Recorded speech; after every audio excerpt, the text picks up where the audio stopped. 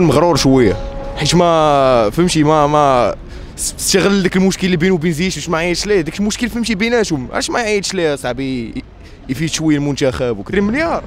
هو هو بزاف. الصراحه ما يستاهلوهاش راه قلت لك السبب في الأول. هذاك هو اللي فهمتي خربق كلشي. محتاجها في بزاف ديال المجالات. زعما اللي جينا ندوي سواء الصحيه سواء فهمتي؟ يستثمروها في شي مدارس بحال هكاك. كتدخل شي مدرسة كتلقى مرحاض ما فيه فيش قبا. فهمتي؟ ما هذا هذا هو البلان فهمتي؟ كتمشي كتلقى بنادم ناعس ما في السبيطار ناعس وما كاينش فراش. وهادشي اصاحبي مصيبه هادشي. كنظن كيفاش جاتك كيفاش جاتك الماتش اليوم؟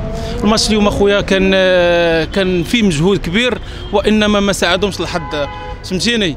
وكنتمنى من الله يحسنوا يحسنوا الخطأ ديالهم. داروا بزاف ديال الأخطاء. ماشي غير خطأ ولا جوج ولا ثلاثة داروا بزاف. هي راه المنتخب راه لعبوا عطاو اللي عندهم. ما نكذبوش على الله. ياك. ولكن المدرب فاش خسرها ملي خرج بوفال؟ صافي خرج بوفال تما خسر. كاع اللي خرج ذاك حدادي ما دار والو من الأول الماتش. أنا هادشي اللي بان لي في الماتش اللي آه شنو نقول لك؟ ما ماتش ما والو هذه الأولى. لاعبين بنفس الخطة. وخطة ديال التطاوع بحال دايرين فيها لاعبين في الإنجليز ما فهمتش كره حنا تنحكوها في الأرض. كنعرفوها في الحومات قوية ساش كذا كره تتحك.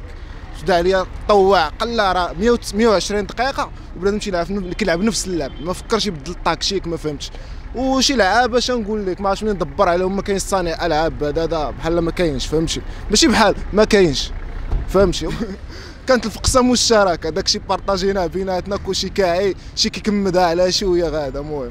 واش من ناحية كره كره تيتخسروا فيها الفلوس واخا.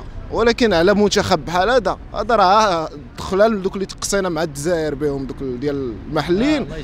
هذوك حتى إلا طرات شي حاجة تقولها لي ما بنادم جايبو لاعب في الانجليز مولف كيتحك مع بنادم ناضي وتجي في الأخر ما ما تعرفش باس صاحبي.